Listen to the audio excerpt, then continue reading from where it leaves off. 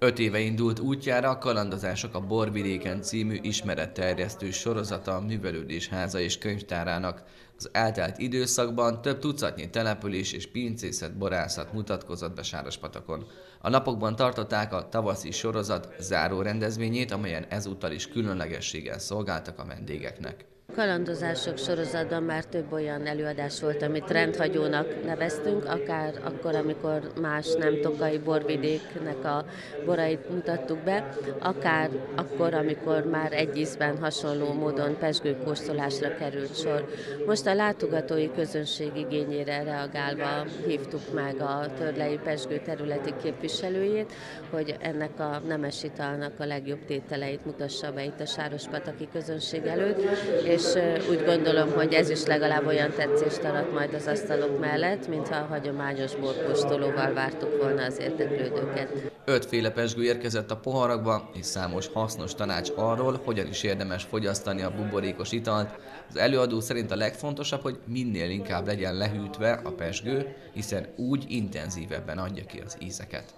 A legnépszerűbb az a tartályos erjesztésű pesgők, ezt követi a metód transvaz, vagyis a másfél literes magnum palackos érlelés.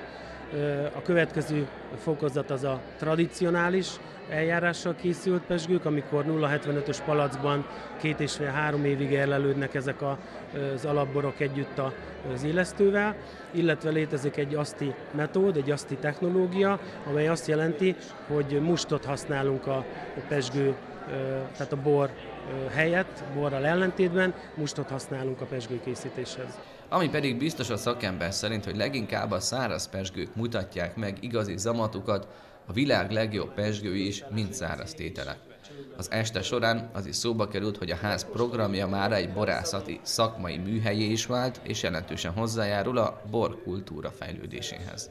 A Patak művelődés háza ezt kitalálta, és ezt meg is valósította, egyre nagyobb híre van. Ez egy, hát lehet, mindig lehet hallani a hangulatból, hogy az embereknek ez nagyon tetszik, okulnak is belőle, legalábbis bízom, bízom benne, és a borkultúra azért fejlődik. Másképp nem tud a borkultúra fejlődni, csak úgy, hogyha megkóstolom. A pesgők történetében és kóstolásával a sorozat egyelőre véget ért, szület után ősszel viszont újraindul a kalandozás a borvidéken.